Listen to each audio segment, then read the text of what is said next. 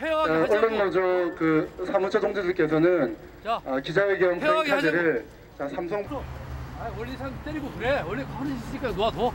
죽이지만 않으면 돼. 운전자 하시는 분한테 맞았거든요. 자, 그리고 때리는 거야, 상주도. 얘기하세요. 자, 가, 계셔. 받으시고. 예. 어. 자, 김성현 후보자님 지난 2월 초 삼성그룹 본관 앞에선 시작부터 팽팽한 긴장이 돌고 있었다. 국민 여러분 잠시 후 한 언론사의 파업 사태와 관련한 기자회견이 열렸다. 삼성의 언론 통제에 항의하는 회견에 정작 참석한 취재 기자들의 수는 많지 않았다. 언론계에는 청와대는 기사를 뺄 수 없어도 삼성은 뺄 수 있다는 말이 나든지 오래다.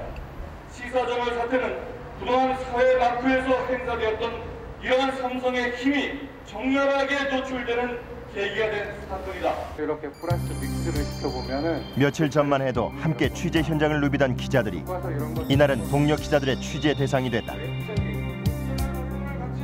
사태 발생 7개월을 맡고 있는 시사저널의 기자들이었다. 삼성 본관까지 우리가 이 왔습니다. 7개월 만에 드디어 삼성 본관 앞에서 기자회견을 갖게 되는데요. 삼성이면 한국의 대표적인 기업 아닙니까? 대표적인 기업답게 그 그에 걸맞는 그 사회적인 책무, 그에 걸맞는 제 언론사를 가지고 좀 그 임해 주셨으면 하는 바람이 있습니다. 자, 삼성이 어떻게 언론을 통제하는지 그 적나라한 현상을 보고 계십니다. 사과하셔. 기자회견이 끝난 직후 잘못을 했으면 사과를 해야죠. 삼성 직원은 사과 안 해도 되는 사람들인가? 밀어놓고 이제 거짓말까지. 시사저널 사진부 윤무영 기자가 회견을 앞두고 벌어진 삼성 직원의 폭행에 대해 사과를 요구하고 나섰다.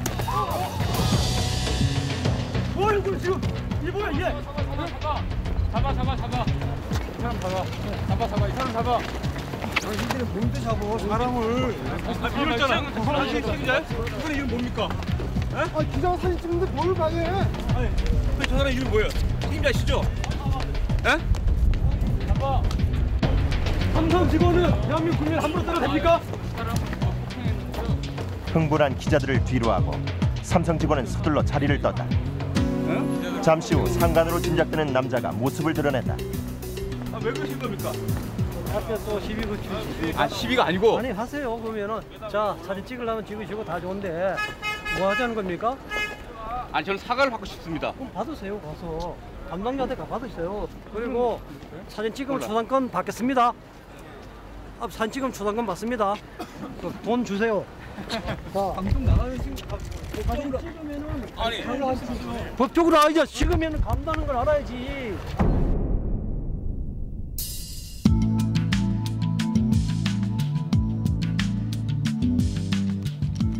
이것이 시사 주간지 시사 저널입니다. 이 기자들이 파업하기 전에 마지막으로 만들었다는 898호입니다.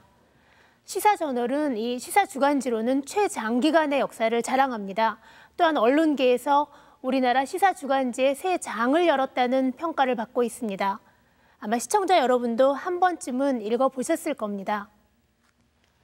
그런데 이 시사저널의 기자들이 시사저널 18년 역사상 처음으로 파업에 돌입했습니다. 그것도 초인류 기업을 지향한다는 삼성 때문이라고 합니다. 시사저널의 기자들이 왜 펜을 놓고 거리에서 거대 기업 삼성에 맞서고 있는지 강지웅 PD가 취재했습니다. 지난 1월 말 한겨울의 아스팔트 위에 천막 하나가 세워졌다. 24명 시사저널 기자들이 마련한 임시 편집국이었다. 이틀 전 사측은 기자들의 파업에 맞서 전격 직장 폐쇄를 단행했다. 이날로 편집국 출입은 금지됐다. 작년 6월 사태 발생 후 7개월이 넘도록 사측과 공방을 거듭하면서도 잡지 발행을 중단하지 않았던 기자들이었다. 그날 밤 반가운 손님이 찾아왔다. 소설 칼의 노래로 잘 알려진 김훈 선생. 그는 등단 전 30여 년 기자 인생 중 8년을 시사저널 편집장으로 지냈었다. 그때는 박정희 대통령의 유신 정권의 시절이었고 한국의 대부분의 언론들이 여기서 무너진 것이에요. 저도 그때 무너진 기자 중에 하나입니다. 그러니까 오늘 이 사태에 대해서 내가 아무런 할 말이 없어야 마땅한 것이죠. 그러나 30년 후에 내 후배들이 다시 같은 자리에 와서 무너진다는 것은 우리는 견딜 수가 없는 일이에요. 이것은 30년의 세월을 그 무효화하는 것이고 그 상대가 바뀌었을 뿐 눈앞에 벌어진 사태에 선생은 착잡함을 감추지 못했다. 사태의 발단이 된 건 지난해 여름 6월 27일자로 발행된 시사저널 870호였다. 62쪽부터 세면에 걸쳐 싣기로 돼 있던 기사가 인쇄 과정에서 광고로 뒤바뀌는 초유의 사태가 벌어진 것이다. 기사를 뭐 인쇄 단계에서 뺀다는 것은 아, 상상하기 어려운 일이죠. 상상하기 어려운 일입니다. 그거는 인쇄 중인 기사를 삭제하도록 지시한 이는 시사저널의 사장 금창태 씨였다. 직장 폐쇄 후 모기업인 서울문화사로 출근하고 있는 금 사장을 어렵게 만날 수 있었다. 그는 발행인으로서 정당한 권한을 행사한 것이라고 주장했다. 이런 불공정한 보도, 어? 예컨대 일방적인 보도, 무책임한 익명의 제보자가 말하는 내용을 검증 없이 그대로 받아 쓴 기사, 그러면서 그 비방을 당하는 사람들의 반론을 전혀 보장하지 않는 기사, 이런 기사는 당연히 언론사의 gatekeeping 아시죠? gatekeeping 역할이 그거 아닙니까 언론사에? 하지만 기사 품질에 관한 기자들의 주장은 달랐다. 통상적인 편집국 절차에 따라 2중, 3중의 검증을 거쳤다는 것이다. 이 기사는 우선 기자가 자체 검증을 한 거고요.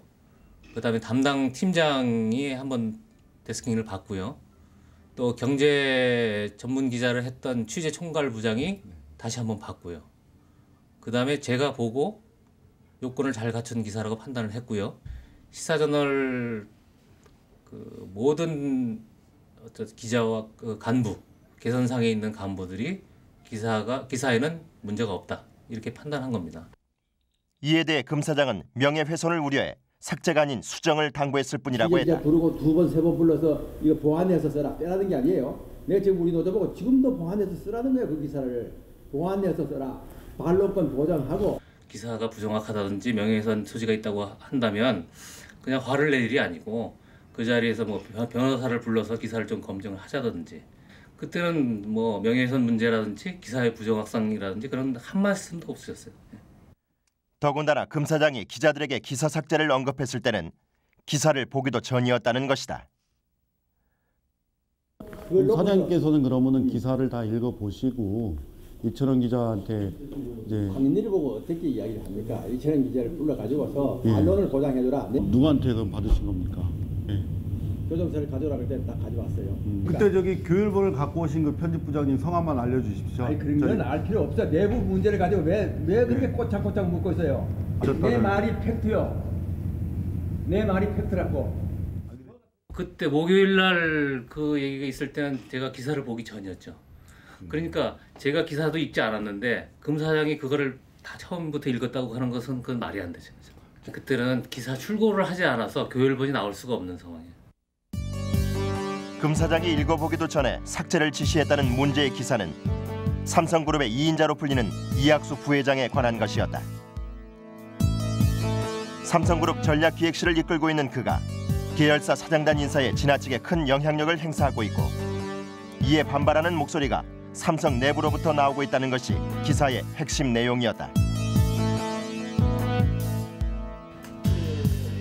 기사를 쓴 이는 시사저널 경제부의 이철현 기자였다. 사태가 시작된 그날 그는 기사 탈고를 두시간 앞두고 삼성 홍보팀에 전화를 했다. 기사에 대한 삼성의 공식적인 입장을 듣기 위해서였다. 몇 시간 뒤 삼성 홍보팀에서 두 명의 관계자가 찾아왔다. 회사 근처 찻집에서 만나 기사 내용에 대해 의견을 들었다. 금창태 사장으로부터 전화가 걸려온 건 삼성 관계자들과의 얘기가 마무리될 즈음이었다. 그들과 헤어진 후 이 기자는 사장실로 갔다. 난 순서가 기사의 내용이 뭡니까? 라고 이제 물어보는 것이 첫 순서일 줄 알았더니 첫 번째 하시는 말씀이 이학수 실장과는 대학 선후관계다. 내가 어려운 일이 있을 때마다 부탁을 할 때는 어, 늘 들어주는 사람이다. 그리고 시사저널이 경영상의 문제 때문에 도움을 요청하면 많이 협조해주는 것이 삼성이다. 이철현 씨가 어, 이 기사에 대해서 기사를 어, 빼는 것에 대해서 양해를 했으면 좋겠다. 이 기자가 자신의 소관이 아니니 편집국장과 상의하라며 물러나온 후 이번엔 편집국장이 사장의 호출을 받았다. 삼성그룹 임원으로부터 전화를 받았다. 이 국장도 잘 알다시피 우리 저 경영상의 문제도 좀 있고 이학수 어, 부회장과 자신이 좀 친분이 있는 걸 알지 않느냐. 어, 기사를 좀 뺐으면 좋겠다. 이번 기사를 빼주면 앞으로 삼성그룹과 관련된 기사를 빼달라고 절대로 요구하지 않겠다. 그리고 어, 이 국장이 요구하는 편집국 요구사항을 한 가지 들어주겠다. 이런 말씀을 하셨죠. 거듭된 삭제 요구를 편집국장은 거부했다. 결국 금 사장은 인쇄소에 지시를 내렸다. 편집국장의 동의 없이 이미 인쇄에 들어간 기사를 드러낸 것이다. 그리고 언론사의 편집인이 밑에 부하 직원들한테 허락 받고 뺍니까? 뭐 밑에 부하 직원이 언론 자기 편집인 발행인의 지시에 순응하기로 채용될 때 고용 의무에 복종의 의무가 있어요. 복종의 의무가 자사와 관련된 기사를 두고 벌어진 사태에 대해 삼성 측은 정당한 절차를 밟아 기사 수정을 요구했을 뿐 기사 삭제와는 무관하다는 입장을 보였다. 우리가 정당 절차를 거쳐서 이렇게 얘기를 했- 했는데 그게 잘 수정이 안 됐고 이거 우리가 이렇게 나오면은 명예훼손의 염려가 있으니 안 된다라고 강력하게 얘기한 거죠 우리는. 그것은 이제 우리는 상황은 끝난 거예요 우리 우리 입장은. 근데 그거를 이제 편집인께서 뭐 거기서 어떤 거쳐서 기사가 전체가 빠져나간 상황에 대해서 오늘날 이런 사태가 이르게 된 거죠. 우리 회사 경영진이 그 삼성이 삼성의 뜻을 받아 행동한 것이 문제이지만 삼성이 로비하지 않았다면 이런 일이 벌어지지 않았을 것이다. 그리고 문제가 어, 문제의 발단이 삼성 기사 때문이었다. 당신들의 로비 때문이었다. 그거는 뭐 하늘이 두동, 두동강 나도 사실 아닙니까? 갑작스레 기사가 빠지면서 결과적으로 870호엔 몇 가지 인쇄 사고가 발생했다. 덩달아 빠져야 했던 한 장짜리 기사의 목차를 미처 손보지 못한 것이다. 마지막 장 기사에 나온 인물이나 관련 용어를 맞춰 응모하는 독자 퀴즈란 본문에 정답이 나와 있지 않은 7번 문제가 빠진 기사가 무엇인지를 짐작하게 했다. 일주일 뒤 발행된 871호에서도 파행은 이어졌다. 매호 잡지 첫머리에 게재되던 편집국장의 편지가 실리지 않은 것이다. 대신 전호의 인쇄 사고에 대한 사과와 내부 사정으로 이번 호 편집국장의 편지를 싣지 못한다는 공고가 실렸다. 그러나 그 다음 호에도 편집국장의 편지는 실리지 못했다. 편집국장이 항의의 뜻으로 낸 사표가 금 사장에 의해 전격 수리된 것이다. 기자들은 집단 반발했고 그 과정에서 무더기 징계가 이어졌다. 무려 17명의 기자들이 업무 지시 불응 등의 이유로 사측으로부터 징계를 받았다. 기자들은 노조를 결성했다. 시사저널 18년 역사상 노조가 결성되기는 처음이었다. 징계 철회와 편집권의 제도적 보장을 둘러싸고 노사 양측은 치열한 공방을 거듭했다. 그러나 14차례의 협상은 합의점을 찾지 못했고 결국 기자들은 사태 7개월 만인 지난 1월 12일 전면 파업에 들어갔다. 그리고 마침내 지난 1월 22일 금창태 사장은 언론사 노조 파업으로서는 이례적인 조치를 내렸다. 바로 직장 폐쇄였다. 삼성그룹 2인자에 관한 기사 하나가 불러온 파장. 18년 역사의 정통 시사주간지 시사저널의 심장. 편집국의 불이 꺼졌다. 예, 이 삼성의 한 고위 간부의 경영 행태에 대한 세 쪽짜리 비판 기사 이 하나에서 비롯된 우리나라 대표 시사 주간지의 직장 폐쇄. 여러분은 어떻게 생각하십니까? 이것이 오늘 나온 시사 저널입니다. 903호입니다. 팬이 꺾인 시사 저널의 기자들은 898호를 마지막으로 거리에서 싸우고 있는데 이 같은 제호의 이 잡지는 그동안 도대체 어떻게 만들어져 왔을까요? 시사전은 요즘 발간되나요? 의전이 지났어. 의전이요. 아, 오늘 오늘 나왔어 오늘. 그 전엔 안 나왔고? 아니요 계속 나와요. 나왔잖아 시사전을. 나왔네 이거. 편집국이 폐쇄된 후에도 매주 시사저널은 발행되고 있었다. 파업과 함께 24명의 기자들은 이미 한 달째 송고를 중단한 상황이었다. 그런데 이 정체불명의 시사저널이 언론계의 화제로 떠올랐다. 경영진과 새로운 시사저널을 풍자하는 만평이 신문 지면에 실리고 제호를 비튼 패러디 포스터가 인터넷에 떠돌았다. 새로운 시사저널은 기자들이 만든 진품 시사저널과 구별하는 의미의 별칭으로 불리우기 시작했다. 지난주 월요일 날 시사전을 나온 거 보고 저의 별명 뚜껑입니다. 왕뚜껑. 뚜껑 열렸습니다.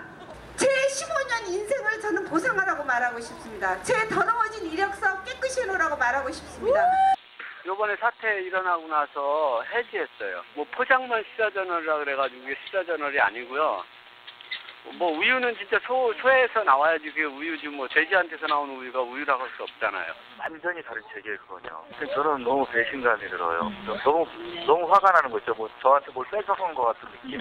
아 그래서 너무 화가 나서 그 제가 보내지 말아라. 그 내용을 처마 못 보겠다. 기자들의 파업을 사이에 두고 일주일 간격으로 발행된 두 시사저널을 비교해봤다. 제후와 판형으론 전혀 구별되지 않았다. 그런데 사장 이하 편집국장과 기자들의 이름이 기재된 만드는 사람 란이 통째로 사라져 있었다.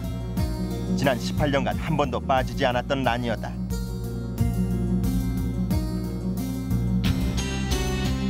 그러나 독자와 기자들이 주목한 건 잡지의 형식이 아니었다. 파업 후 첫 발간된 899호.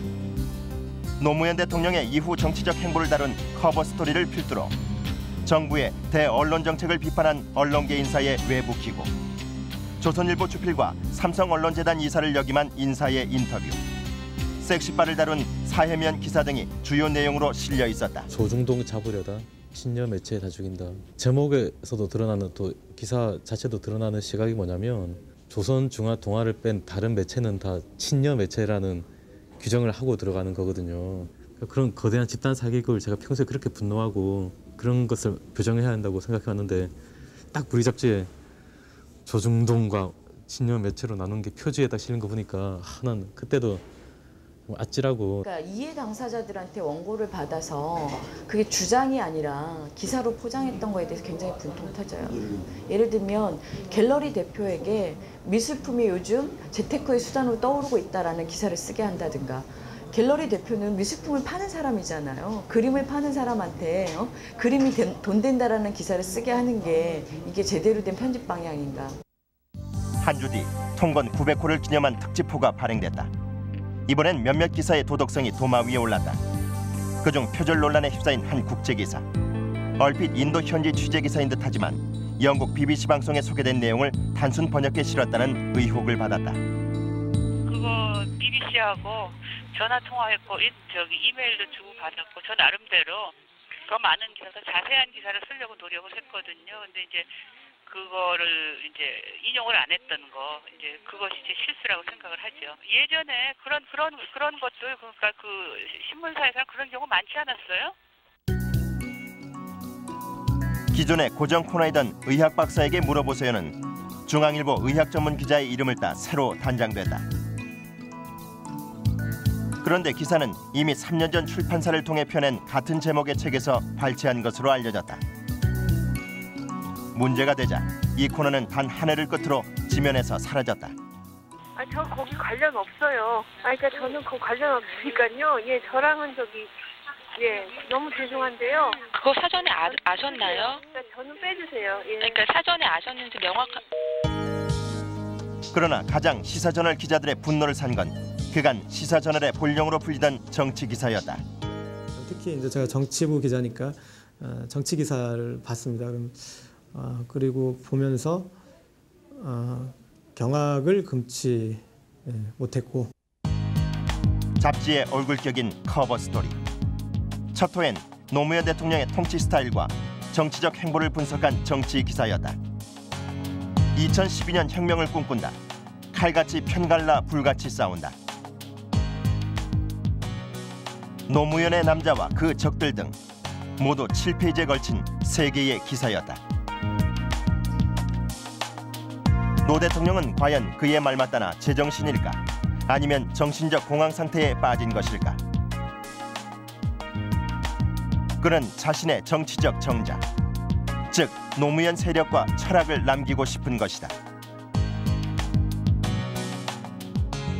그런데 먹고 사는 문제에서만은 진보 개혁 세력으로 통칭되는 운동권 출신 집단이 철저히 무능했다. 게다가 부패하기까지 했다. 그러니 일단 정권을 내주는 것이 순리다.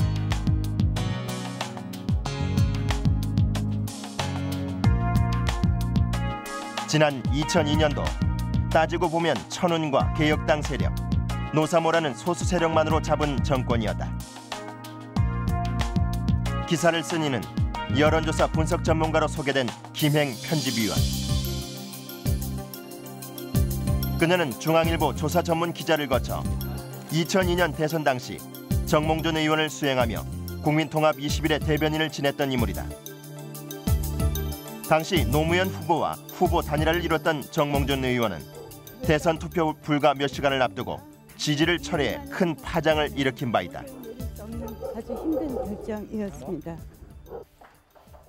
그러나 김행 씨는 기사는 독자들이 판단할 문제라는 입장을 보였다. 제가 이제 5년 전에 음, 정몽준 씨의 그 대변인을 했었던 것도 사실이고요. 그리고 3년 전부터 이제 이러저러한 매체에 이제 글을 쓰면서 정치적인 색깔을 나름대로는 탈색했다라고 생각했는데 그것도 이제 독자의 판단이에요. 그렇고 어, 또 음, 예쁘게 봐주시면 그때 정치 경험이 지금 정치 기사를 쓰는데 좀 더 도움이 되는 부분도 있지 않을까 이렇게 생각을 하는데 그것도 독자 판단이죠. 제가 뭐 저한테 스스로 자격이 있다 이렇게 얘기할 수는 없어요.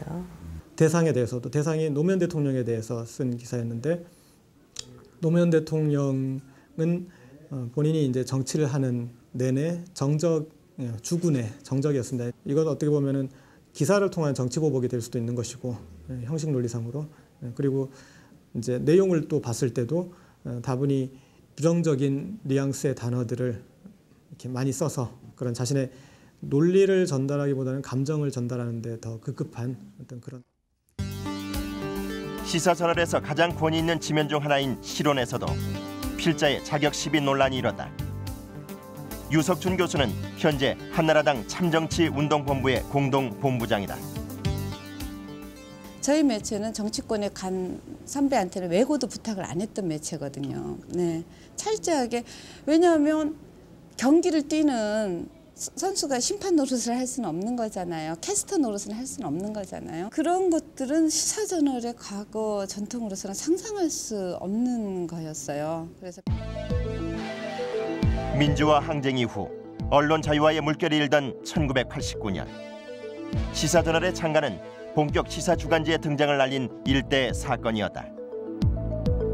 사실과 진실의 등불을 밝히고 자유와 책임의 참언론을 구현한다는 창간 정신. 편집과 경영의 분리라는 원칙을 내세우며 이후 언론사에 기록될 수많은 특종들을 낳았다.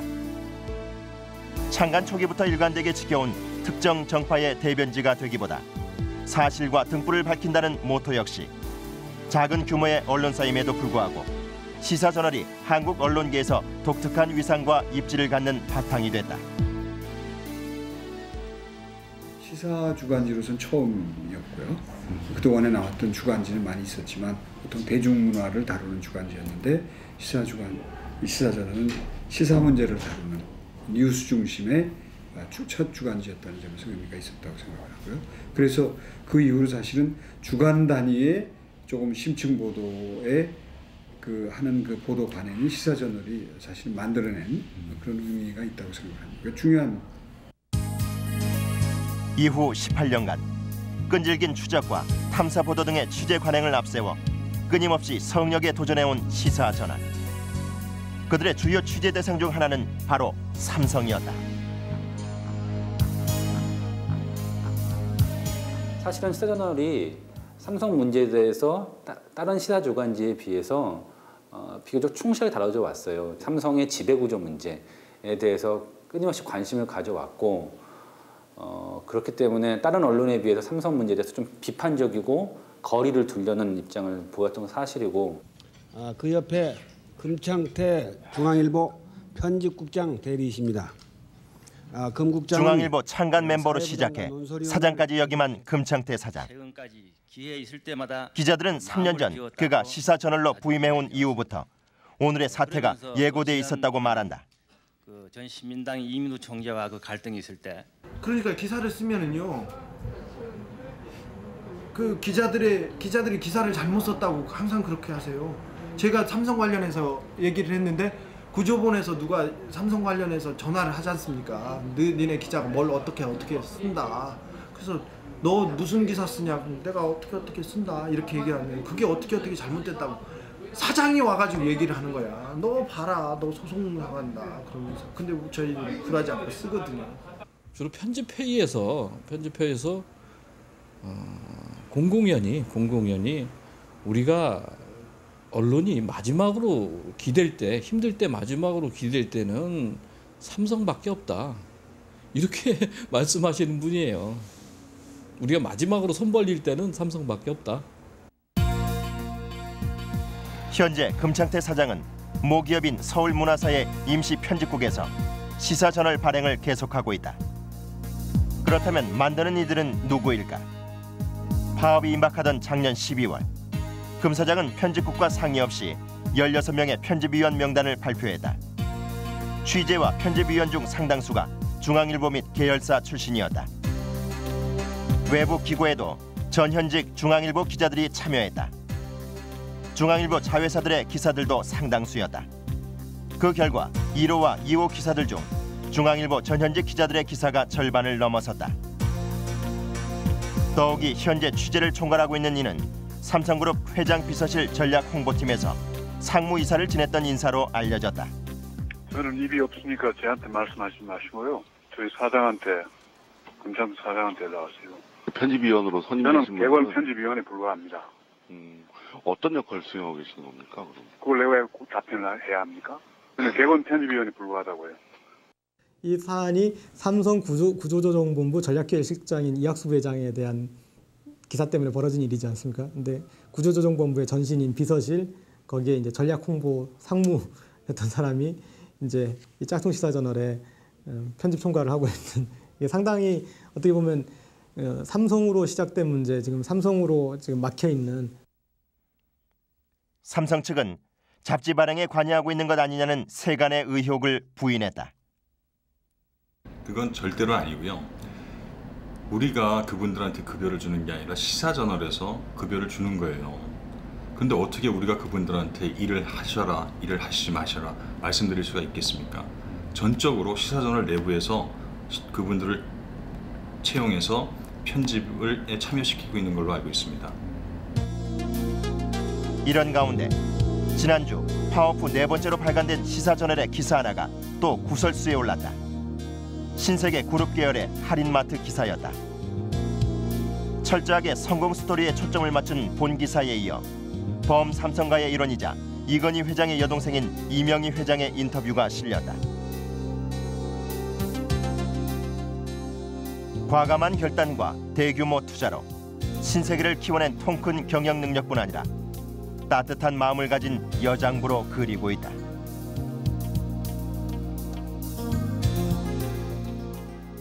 이명희 씨 그 인터뷰 기사 아 인터뷰 기사도 아니지요. 일방적으로 세상이 아마 이마트 사부도 그렇게는 안 쓸 겁니다. 한롭게 그 경쟁을 써보겠다는 기사가 그렇게 나왔죠. 원래 누가 기획을 하시는 거예요? 편집위원 한롭게 그 경쟁 치열한 걸 써보겠다고 그랬는데 결과는 거기다 나가 했지만 저게 저희 통해나 다른 매체에서도 다 다루고 있는 거고 예 예 어디나 봤다고 객관적으로 입증이 되는 거 아닙니까?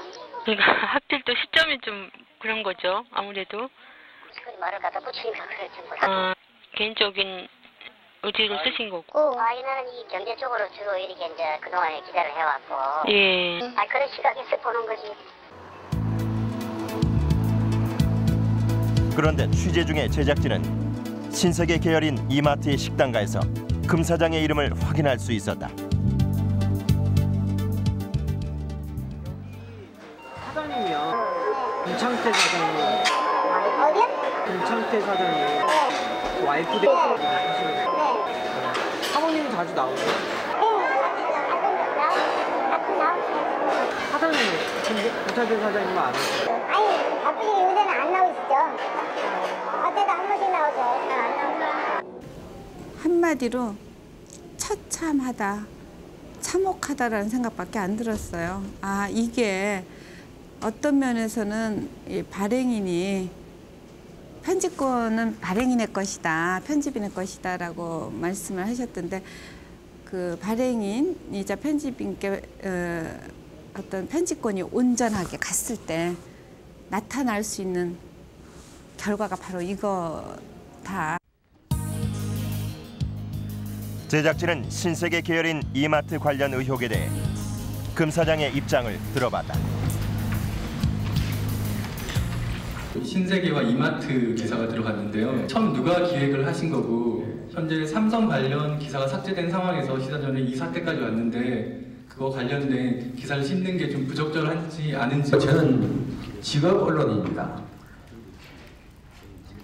삼성에 잘못이 있으면 비판하는 것은 당연한 것이고 제가 개인적으로 설사 삼성과 관련이 있다 하더라도 그것은 제 개인 사생활의 문제이지 시사전을 편집인으로 공인으로서의 그 영향을 받을 수도 없고 받아서도 안 되고 또 이제까지 여기에서 받은 적도 없으며 앞으로도 받지 않을 것입니다.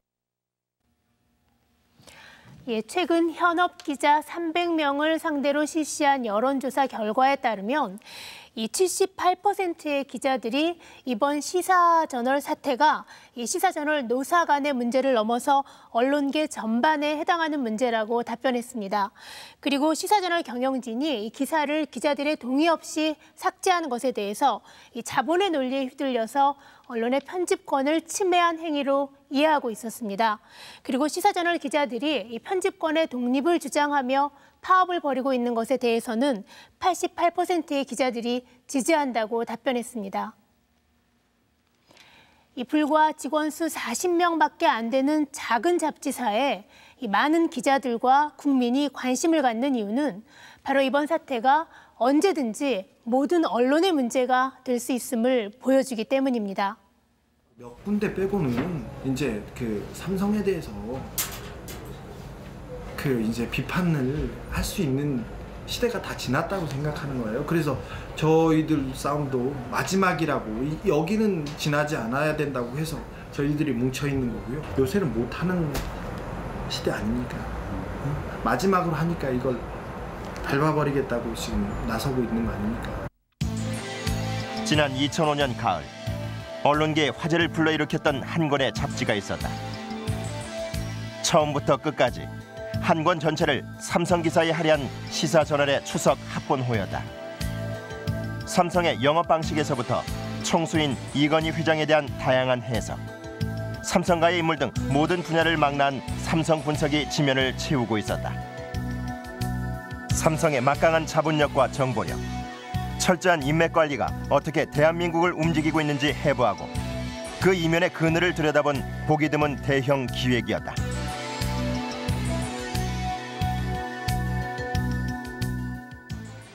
삼성이라는 긍정적인 지지의 어, 힘, 어, 기업으로서 대단함, 그리고 국제적으로 글로벌 기업으로서의 성취 이런 것 모두 인정하지만 그 역기능 또한 그 못지않게 크다고 한국 사회에 어, 큰 악영향을 주고 있다고 생각합니다. 삼성에 대한 비판이 삼성을 정말 사랑하기 때문에 삼성이 정말 잘못되면 안 되기 때문에 삼성이 잘못되면 한국 경제에 굉장한 타격을 주기 때문에 그런 애정에서 애정의 발로해서 삼성을 주목하고 또 삼성을 견제하려고 하고 있다고 생각합니다. 그중 삼성의 언론 관리 백태가 눈길을 끌었다. 기사에 따르면 껄끄러운 기사를 막기 위한 삼성의 언론 관리 방식은 단계마다 다르다고 한다. 평상시에 꾸준히 광고비와 협찬금을 대며 관계를 공고히 한다. 삼성의 비판적인 취재에 들어가면 인맥을 총동원해 로비를 벌인다. 기사를 막는 것이 불가능하면 시기를 늦추거나 수위를 낮춘다. 기사가 나오면 타사에 다른 보도 자료를 주어 물타기를 한다. 안은주 기자는 정권 초기 개혁의 바람 아래 재벌들이 숨죽이던 지난 2003년 3월 한가로이 스키를 타는 이건희 회장을 포착해 기사를 냈다. 개혁의 칼날도 두려워하지 않는 거대 그룹 총수의 자신감이라는 컨셉이었다. 화요일 아침에 책이 나오는 날 아침에 제가 신문을 딱 보니까 연합뉴스니 온갖 신문에 다 이 회장 스키 타는 기사가 나왔어요. 이 회장 스키 타면서 건강 건강 과시. 삼성 홍보팀에서 잡지 발행일에 맞춰 비슷한 사진이 첨부된 보도 자료를 뿌린 것이다. 비판적이던 컨셉을 미담으로 돌려놓은 셈이다. 제가 나중에 그 홍보팀이랑 뭐 만날 기회가 있어서 어, 그래서 훌륭하게 물타기 하셨네요. 그랬더니 아, 그 정도 가지고 물타기라고 하면 안 되잖아. 기사는 못 뺐잖아. 스키에 얽힌 일화는 또 있었다. 작년 2월에 이른바 황제 슬로프 기사. 이 회장이 슬로프 하나를 통째로 사용한다는 내용의 이 기사는 인쇄를 거치면서 칼라에서 흑백으로 바뀌었다. 저희가 칼라인데 흑백으로 나왔다는 거죠. 저희가 800호, 900호를 내면서 한 페이지가 흑백으로 나온 적은 첫 번째였습니다. 단순 사고였다 그냥 넘어가 달라고 해서 그렇게 뭐 싸우지는 않았습니다만 제가 보기에는 뭐 다른 압력이 있었지 않나. 이른바 전방위적 로비에 대한 삼성 측의 얘기를 들어봤다. 잘못된 기사가 나가면 그 기자들한테도 마이너스고 그리고 좀 오보가 나가는 상황이니까. 그러면 자기 이름에도 오명이 남고. 그러는 거니까 우리가 그래서 이제 커뮤니케이션을 해가지고 서로 그래서 기사를 아이 부분은 좀 틀렸다. 그러면 그 부분은 좋다. 그러면 수긍이 되면 자기네가 알아 기자 입장에서 뺄 수도 있는 거고 그걸 기자 입장이 아니면 부장 입장에서 뺄 수 있는 거고 그 이후에 국장이 뺄 수 있는 거고 심지어는 편집인도 뺄 수 있는 상황이죠. 그러면 서로 그 합의해서 아 이 정도면 되겠냐 그러면 좋다 그러면 서로 그 사람들도 좋고 우리도 좋고 그래서 그렇게 그런 작업을 하는 거죠. 보통 기업하고 언론사하고 관계가 있다고 합시다. 저희가 이런 기사를 쓰는데 잘못됐다. 거기서 주장해야죠. 안 받아들여지지 않습니까? 그러면 취재 기사가 나가고 소송을 걸거나 아니면 언론중재위에다가 넣어서 이걸 바로잡는 게 맞습니다. 근데 이렇게 그 뒤에서 압력을 행사해가지고 기사를 빼버리고 그건 이건 야만이죠. 이거는 고도화된 검열입니다. 정치 검열이 아니라 경제 검열입니다. 지난 1월 그간 집회의 무풍지대로 풀리던 삼성 본관이 뚫렸다 하여 화제가 된 집회가 있었다. 경찰의 과잉 대응까지 겹쳐 수많은 카메라 세례를 받았다. 그러나 정작 보도로 이어진 곳은 많지 않았다. 주요 일간지 중 다음 날 관련 기사나 사진이 실린 매체는 한두 곳뿐. 대부분은 집회에 대한 언급조차 없었다. 전날 가판에 기사 없이 사진만 실렸다가 다음 날 배달판에선 다른 사진으로 교체된 신문도 있었다.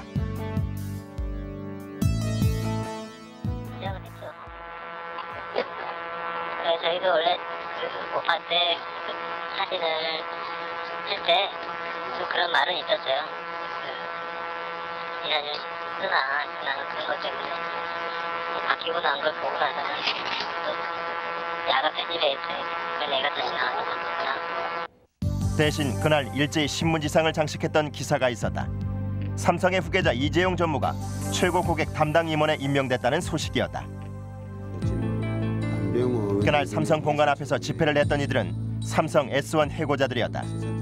그들은 말로만 듣던 삼성의 힘을 이번에 실감했다고 한다. 저희들 같으면은 지금 1,700명 같으면은 엄청난 사태거든요, 사태. 어떻게 보면은 나라에 이게 만약에 어떤 뭐 현대자동차나 1,700명 만약 해고됐다 이러면은 나라가 아마 들었다 놨다 들었다 놨다 할 정도가 되겠죠. 그런데 이제 삼성은 조용하다 말입니다.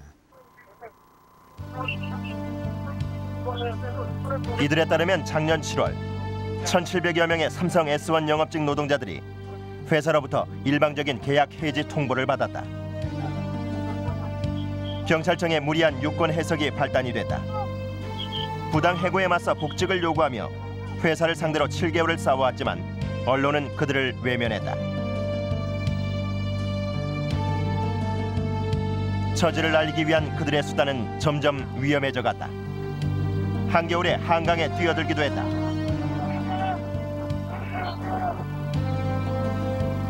고속도로 위 철탑에서 고공 시위도 벌여봤다. 그러나 소용이 없었다. 당일날 기사가 나온다고 막 했었어요. 그 기자분도. 근데 기사가 안 나왔더라고요. 그래서 그 들리는 말로 데스크 쪽에서 잘렸다는 말을 하더라고요. 뭐 삼성은 고공 올라가도 안 되는 갑다. 그거 갖고는 더 안 되는 갑다. 그렇게 생각을 한 겁니다. 사건 초기부터 삼성 S1 사태를 취재해왔지만 끝내 기사를 내지 못했다는 젊은 기자를 만날 수 있었다. 회사 측은 이제 위에서 그 위에서 보면 흥국씨 광고 이쪽 얘기하고 왔으니까 안 나가는 게 어떻겠느냐 이제 그런 식으로 얘기를 하시는 거죠. 나도 처음에는 뭐 이게 안 된다라고 얘기를 해도 또 그룹 측에서도 연락이 좀 더 왔나 보더라고요. 그러다 보니까 이제 뭐 S1 따로 놓고 보면은 S1 하나인데 한 그룹 전체를 보면은 뭐 계열사들 여러 곳이 광고 다 얽혀 있으니까 이제 그때 되니까 이제 더 한 번 더 말씀을 하시더라고요. 근데 시사 저널이 창간 이후 매해 계속해온 대형 특집 누가 한국을 움직이는가. 지난해 조사에서 삼성 이건희 회장이 대통령에 이어 2위에 올랐다. 삼성은 여야 정당에 이어 집단 영향력 3위를 기록했다. 그 영향력의 바탕엔 막강한 자본력을 통한 언론 통제가 자리하고 있다. 주요 언론사들의 광고 수입 중 삼성 광고가 차지하는 비율 메이저를 제외하곤 대부분 10%를 넘어서고 있다. 광고 없이 유지하기 힘든 언론사의 현실. 기사에 대한 광고주의 영향력은 그곳에서 시작된다. 방법 딱 하나예요. 광고로서 더 주거나 애간장 태금 타게끔 하면서 주거나 아니면 안 주거나 이런 거 생각해요. 가장 황당한 게 그거죠. 제가 이 기사를 이제 아침에 무슨 무슨 기사를 쓰겠다고 일벌을 올리지 않습니까? 그러면 그거를 이제 데스크가 그걸 볼 거 아니에요. 근데 그 뭘 쓸 것인지 삼성이 알고 저한테 전화를 합니다. 데스크가 알아서 그날 있었던 걸 각 주요 광고주들, 즉 산업부 데스크가 광고주들한테 홍보팀한테 알아서 올립니다. 이런 기사가 나가는데 쓴다고 하는데 괜찮겠느냐고. 권력으로서의 정치와 자본은 절대로 벌거벗은 상태에서 기자나 PD를 억압하는 게 아니라 반드시 데스크의 얼굴을 하고 등장을 합니다. 그러니까 무슨 정치인이 편집국에 들어와서 군합발로 짓밟고 어, 재벌 총수가 들어와서 뭐 나한테 삿대질하고 이런 게 아니거든요. 현업 언론인들이 대적하게 되는 혹은 대당하게 되는 사람들이 대부분은 이 같은 언론사 내부에서 일을 하는 선배들, 데스크들, 책임자들입니다. 지난 2005년 한국 사회를 뜨겁게 달궜던 엑스파일 사건. 삼성그룹 이학수 부회장과 홍석현 당시 중앙일보 회장이 만나 검찰 내 주요 인사들에게 보낼 추석 떡값을 논의한 정황은 국민들을 충격 속에 몰아넣었다. 검은 로비의 주인공들을 처벌하라는 국민적 요구가 높아지고 있었음에도 대부분의 언론은 엑스파일 사태를 불법 도청 문제로 몰고 갔다. 당시 시사저널의 한 기자는 이와 관련해 삼성 고위층으로부터 의미심장한 이야기를 들었다고 한다. MBC는 법으로 다투고 나머지 언론은 언론사는 엑스파일과 관련한 보도를 못하게 하면 해서 MBC를 고립시키면 절대 방송할 수 없는 내용이다. 그렇게 얘기를 낙관하는 얘기를 들었습니다. MBC는 법으로 다스리고 예. 다른 방송이 법과 광고로 다스리고 다른 방송은 MBC와 격리해서 광고로 이렇게 정리하면 절대 그 엑스파일 문제에 대해서는 그 크게 걱정하지 않는다는 그런 얘기를 하셨어요. 당시 참여연대에서 이건희 회장을 필두로 엑스파일 관계자 20여 명을 검찰에 고발한 바 있었다. 참여연대에서 고발하는 피고발인은 이건희, 이학수, 홍석현, 이회창, 이회성, 서상목, 그러나 다음 날 대부분의 신문 기사 제목에서 이건희 회장의 이름은 찾기 힘들었다. 신명을 갖다 순서대로 세운다면 당연히 이건희 회장부터 시작을 해서 그다음에 이회창, 홍석현, 뭐 이학수 삼성그룹 구조조정 본부장 뭐 이런 식으로 가야 되는 게 정상인데 이 건희라고 한 거는 한 개밖에 없었어요. 나머지는 다 꼬리를 내렸죠.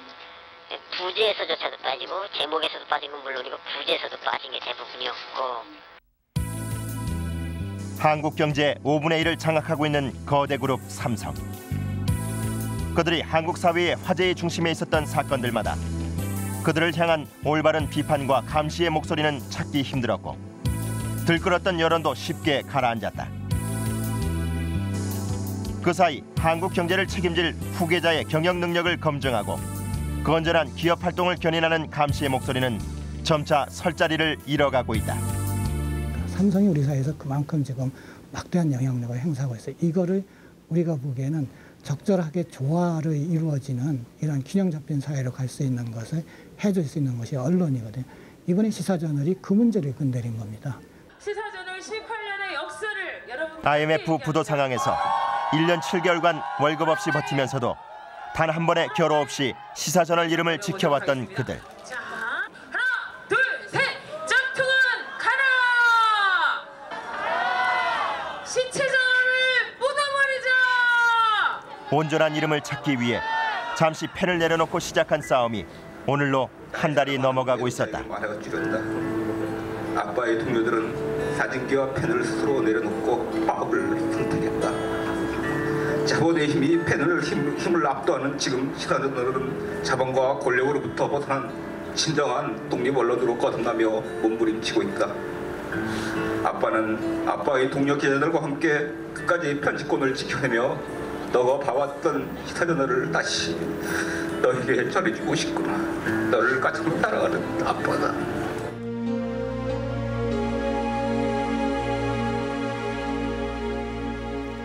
이 기업이 언론을 상대로 자신의 이익과 관련된 기사에 대해서 영향력을 행사하려고 하는 것은 기업 입장에서는 당연한 일일 수도 있습니다. 하지만 지켜야 할 선이 있습니다. 이 언론의 독립과 자유를 보장하는 것은 기업의 이해관계와 바꿀 수 없는 우리 사회 구성원 모두가 지켜야 하는 소중한 가치이기 때문입니다. 이 청와대는 기사를 뺄 수 없어도 삼성은 기사를 뺄 수 있다. 이 언론계에서 공공연하게 떠도는 얘기입니다. 국민 입장에서는 참 무서운 얘기입니다. 우리는 과거 정치 권력에 의해서 언론에 재갈이 물려졌던 불행한 시대의 암울한 기억이 있습니다. 이제는 경제 권력으로부터 언론의 독립과 자유를 고민해야 되는 시점에 와 있습니다. 한 원로 기자가 시사저널의 젊은 기자에게 이렇게 말했다고 합니다. 과거 우리의 선배가 펜은 칼보다 강하다는 것을 증명했다면 이제는 펜은 돈보다 강하다는 것을 증명해야 할 시기다. 이 말이 바로 시사저널 사태의 결과에 우리가 주목해야 할 이유입니다. 오늘 PD수첩 여기서 마치겠습니다. 감사합니다.